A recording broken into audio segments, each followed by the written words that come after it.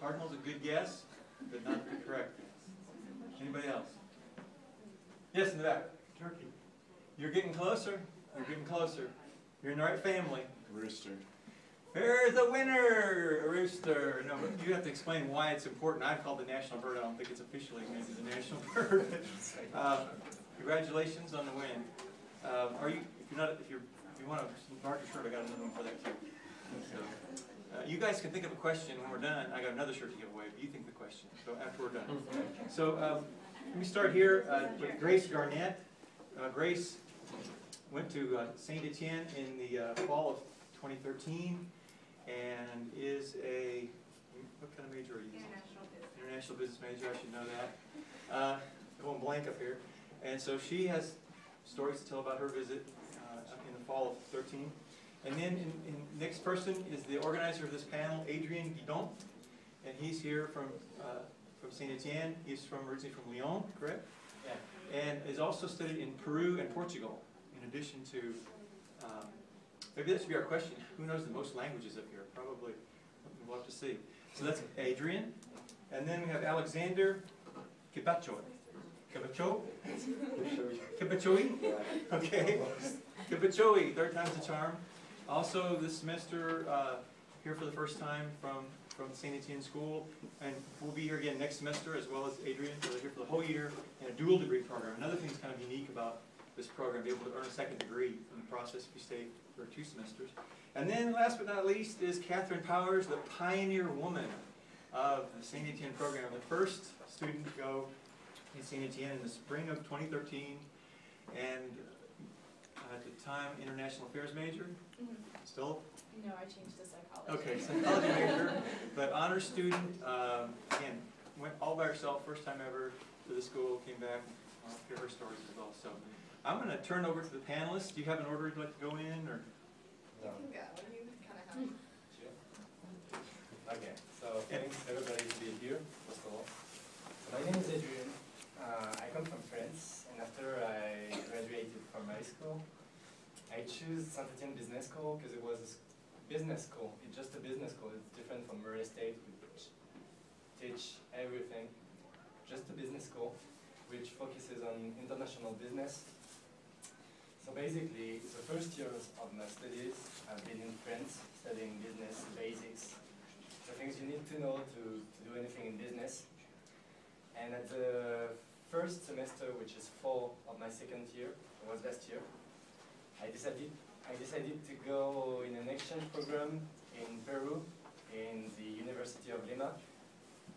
So at 19, I left France and my family to go to cross the, the Atlantic and to study and to learn more than I used to do Spanish. So that has been my first experience abroad, and that was a great thing I did. That's something I really enjoyed. And yeah, that's it basically. So I did six months in South America to study. I came back in France for three months in my school, in Saint Etienne Business School. Business, again, I studied business for three months. I did a semester. And then I had the opportunity to do uh, an internship in Portugal in international logistics. So I left France again to live in Portugal, in Porto, city of Portugal. I've been learning a lot about logistics there, about the things I want to do later, and I've been learning a bit of Portuguese there too.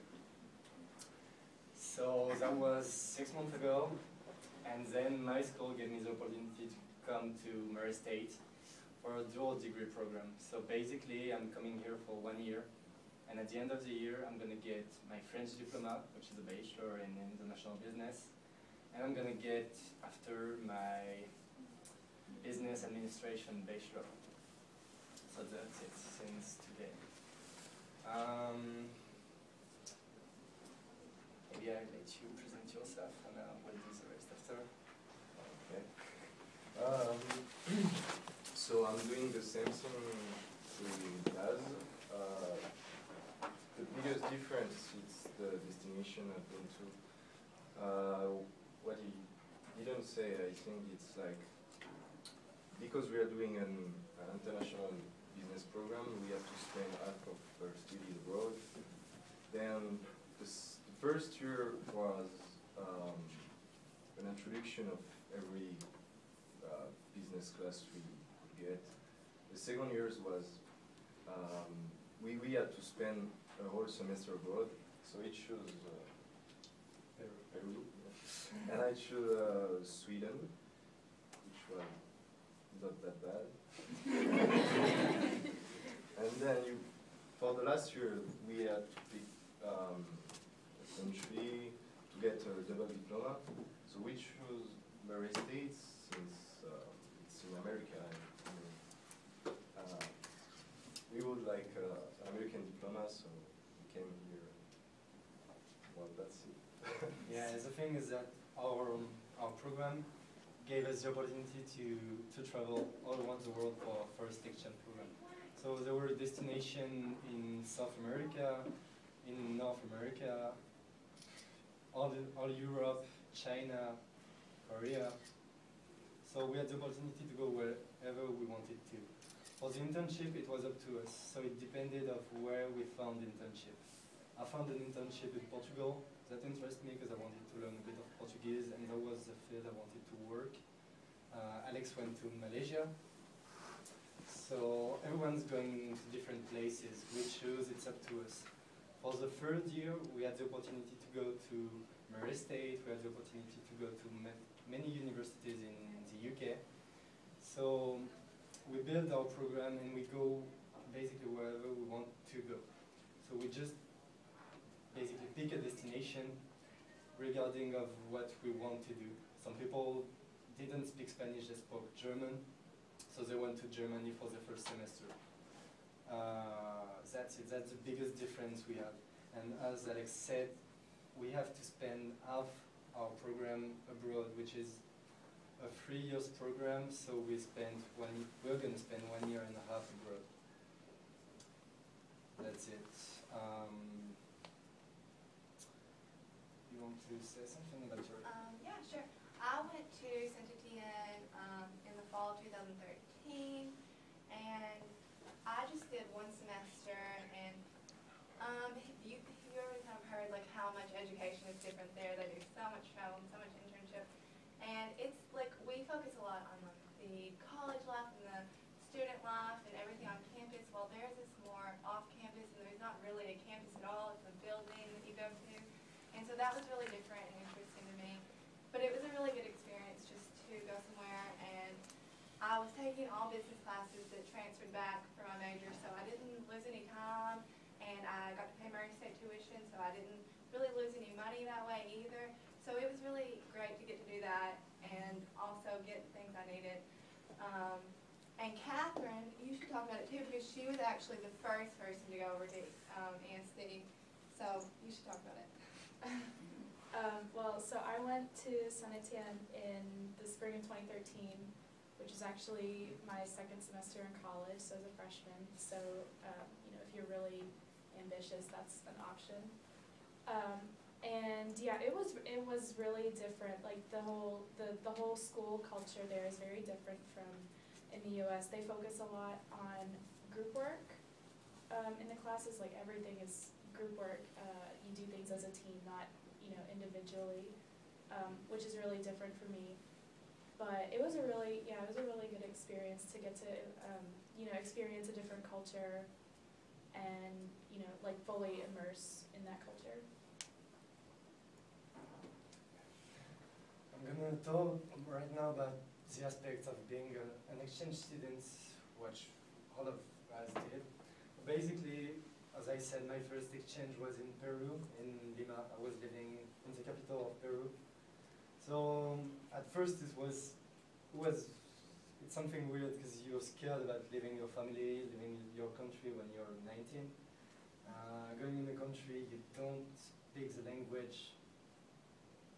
I spoke, I learned Spanish at high school, at college, but I was not speaking it enough to, to get a conversation and to, to live in the country. So I went there, my Spanish was not great, but I went with a friend and I think that helped me a lot. But that was, I have to say, that was one of the best experiences I ever had, because for many points, I found myself a traveler. I discovered that I love to travel. Actually, after I finished my semester, I've been traveling from Peru to Brazil for one month, backpacking, and I've I just loved it. Um, when you travel, away, when you're doing an internship, you meet you meet a lot of new people, and that's something awesome. You may have found wherever you're from. Every day you meet new people from X country, from and that's something really open-minded. Uh, I have to say that living in another country and studying in another country, it basically opened your mind. There was something, I don't know how to explain it's something you have to live, but to do it quick, you learn a new language, you discover a new culture, and you get used to that culture, so you find yourself acting differently. For example, the first day to class we went was at, at 2 p.m., so we went at 1.45. We discovered that people in Peru were not going at time, so day by day we, we arrived 30 minutes later, and going back in France, we were still doing it. So you get used to new practices, and that's something really open-minded. Another thing that you learn, I took from class that were basically the same in France, in Peru, and I thought that would have been boring, but that's really interesting because you learn from another point of view. So the French are gonna tell you to go this way by group work. The Peruvian are gonna tell you that you need to do this and this before, which is totally different. So after, when you be working, you'll know, for example, two, three different approaches.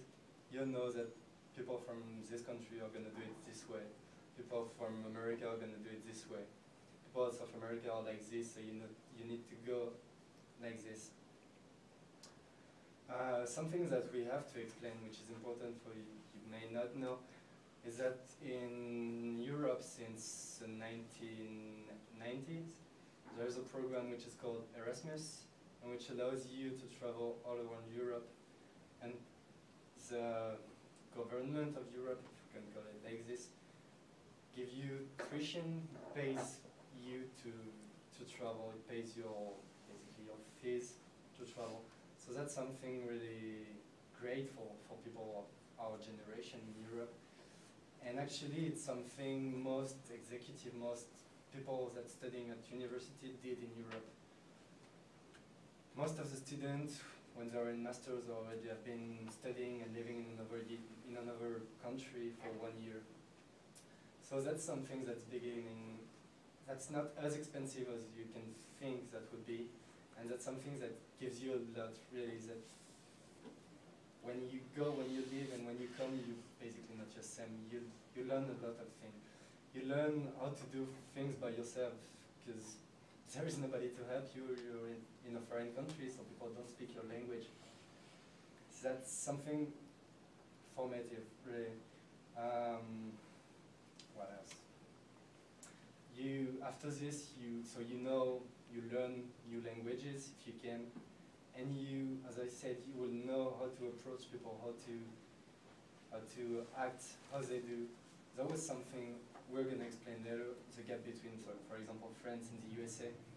I was thinking France, USA was not that different. It was Occidental country, rich countries. Their behaving, this, their behavior is, is basically the same, but it's not at all. First time we arrived there, we found people and we were trying to communicate the same way than in France we do, and that's something you can't do here. People won't understand if you do something you do in France, they won't understand.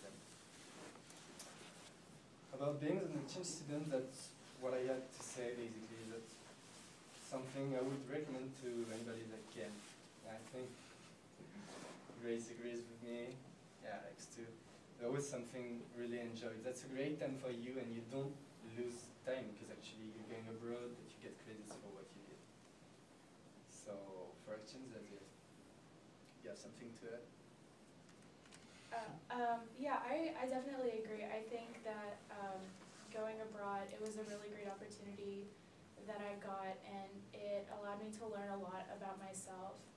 Um, because I'm not gonna lie, it was really hard to go abroad by myself as the first one in this program with nobody else, um, nobody else from my school there, and you know, survive by myself. It was it was difficult